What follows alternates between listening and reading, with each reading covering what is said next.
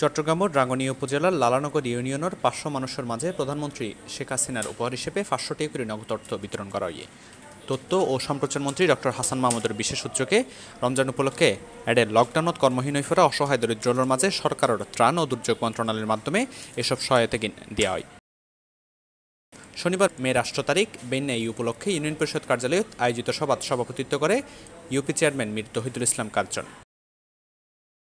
সভাত প্রধান অতিথি হিসেবে উপস্থিত আছিল উপজেলা আওয়ামী লীগের সাধারণ সম্পাদক ইঞ্জিনিয়ার শামসুল আলম তালুকদার, ইউনিয়ন আওয়ামী লীগের যুগ্ম সম্পাদক কাজী মঈন মেম্বারের পরিচালনায় সভাত বিশেষ অতিথি আছিল উপজেলা আওয়ামী লীগের ধর্ম বিষয়ক সম্পাদক জসিমুদ্দিন তালুকদার, ইউনিয়ন আওয়ামী লীগের সাধারণ সম্পাদক মীর গোলাম মোস্তফা বাবুল, সাংগঠনিক সম্পাদক ওমর ফারুক মাসুদ, ইউপি সদস্য আবু তালেব, দিদারুল ইসলাম আয়ুব আলী, আবুল কালাম, কাঞ্চন মিয়া, খুরশিদা বেগম সহ আরও বোধকেয়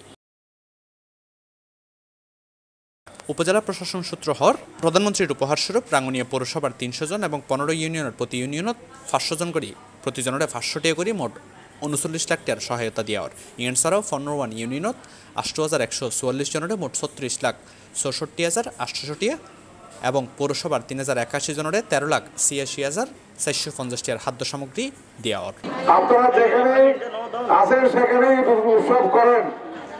ঈদ উৎসবে সামিল হয়ে অন্তিম যাত্রায় সামিল হবেন না। এই সরকারের পাশে থাকা প্রধানমন্ত্রী শেখ হাসিনার জন্য দোয়া করা।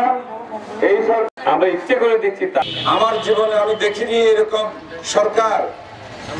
আর্থিক সহযোগিতা করে ক্যাশ টাকা দিয়ে মানুষকে সহযোগিতা করতে হয় শেখ হাসিনার ধন্যবাদ জানাই।